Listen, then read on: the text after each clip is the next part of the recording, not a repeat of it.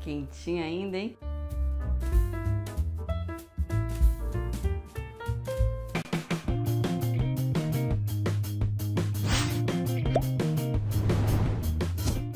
E para começar a fazer a nossa quiche de frango, aqui eu tenho duas xícaras de farinha de trigo e vamos colocar uma colherzinha de café de sal.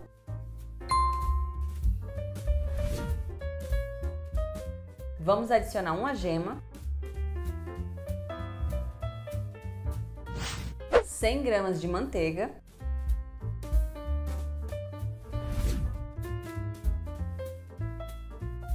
e aí você vai fazendo a farofinha assim com as pontas dos dedos. E agora vamos adicionar 4 colheres de sopa de água gelada.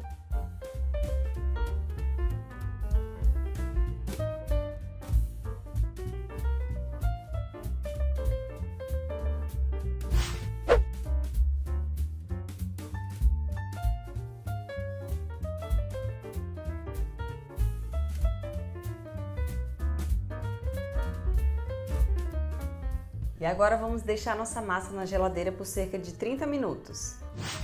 Já tirei a nossa massa da geladeira, agora vamos abrir aqui numa assadeira.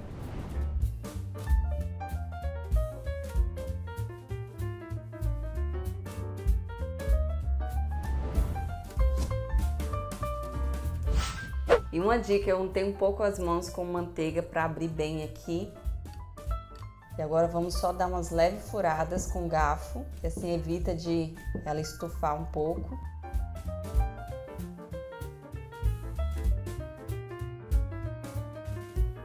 E agora vamos levar para assar em forno pré-aquecido em 180 graus por cerca de 20 minutos.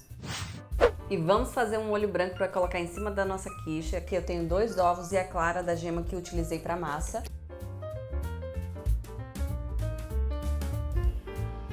Vou utilizar meio tablete de caldo de galinha. Vou utilizar meia cebola caramelizada, que eu dourei ela. Se você quiser colocar a cebola crua mesmo, pode colocar. Vou adicionar uma caixinha de creme de leite.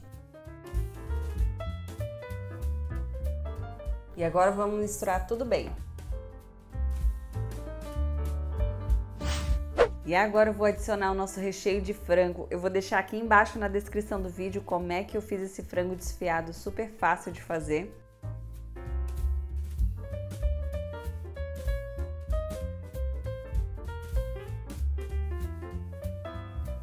E aqui por cima vamos adicionar o nosso creme.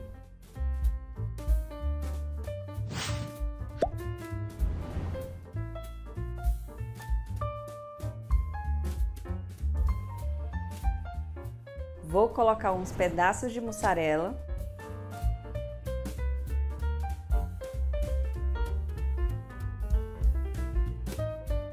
Vamos voltar ao forno pré-aquecido em 180 graus por cerca de 30 minutos.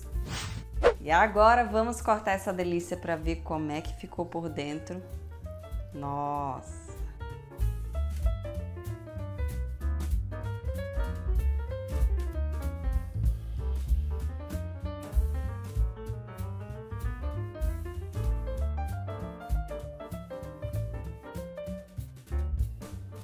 Quentinha ainda, hein?